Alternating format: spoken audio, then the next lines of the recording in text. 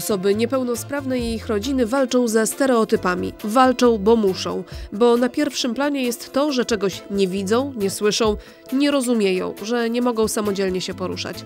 Są kojarzeni z ograniczeniami, a nie z tym, co mają do zaoferowania jako ludzie.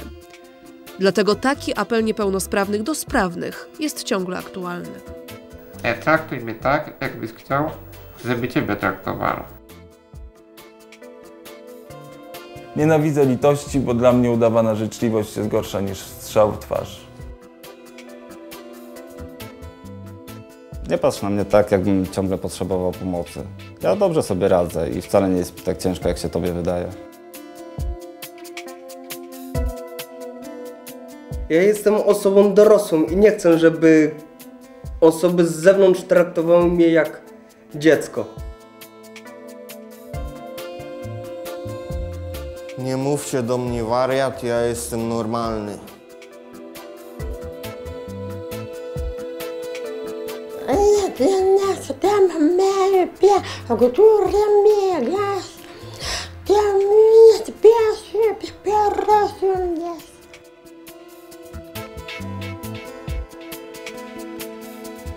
Nie zawsze świat zewnętrzny czy osoby sprawne muszą się dostosować do osób niepełnosprawnych. Takimi argumentami walczą sami niepełnosprawni, natomiast rodzice apelują w imieniu swoim i dzieci. Nie jestem matką gorszej kategorii, nie jestem naznaczona, nie jestem napiętnowana. Najgorsze są spojrzenia ludzi, którzy tego nie rozumieją.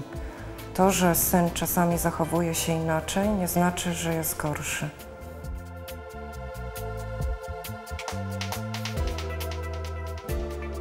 Izolacja lub niedostrzeganie potrzeb ludzi poruszających się na wózkach, okulach, niewidomych i niesłyszących, niepełnosprawnych intelektualnie czy po kryzysie psychicznym to jedno z najwygodniejszych rozwiązań, ale zarazem najgorsze z możliwych. Pokutuje brak wiedzy i osobistych kontaktów z tą grupą osób.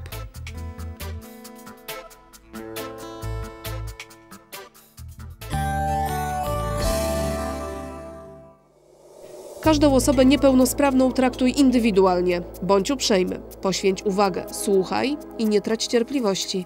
Bądź otwarty w rozmowie. Nie faworyzuj nikogo ze względu na niepełnosprawność, nie trzeba być bardziej miłym. Nie bądź obojętny. Jeśli nie wiesz, jak się zachować, zapytaj. Nie udawaj, że nie dostrzegasz niepełnosprawności. Szanuj prywatność. Nie wypytuj o szczegóły związane z chorobą. Zwracaj się bezpośrednio do osoby niepełnosprawnej, a nie do jej towarzysza. Patrz w oczy i zachowuj się naturalnie. Nie podejmuj decyzji bez konsultacji, każdy ma prawo do decydowania o sobie. Pamiętaj, że fakt bycia niepełnosprawnym nie oznacza, że dana osoba stale potrzebuje pomocy. Zanim pomożesz, zapytaj. Nie narzucaj swojej woli, nie wyręczaj na siłę. Jeśli nie możesz zrozumieć niewyraźnej wypowiedzi, poproś o powtórzenie. Nie lekceważ tylko dlatego, że nie odpowiada ci czyjś wygląd. Nie traktuj rodziców niepełnosprawnych dzieci tak, jakby zostali za coś ukarani. Nie traktuj ich jak ludzi, którzy nie mają prawa do życia. Każdy musi mieć czas, by odpocząć, poświęcić czas sobie. Nie użalaj się ciągle nad sytuacją, w której się ktoś znalazł. Do osoby z wadą słuchu mów wyraźnie i wolno. Zawsze jest szansa, że odczyta mowę z ust. Mówiąc, nie odwracaj się, nie schylaj, nie zasłaniaj twarzy, nie krzycz, to nie pomoże. Bądź cierpliwy, jeśli trzeba, powtórz zdanie. Używaj prostych słów i konstruuj krótkie zdania. Ułatwieniem w komunikowaniu się z niesłyszącym jest pisanie na kartce lub edytorze tekstów telefonu.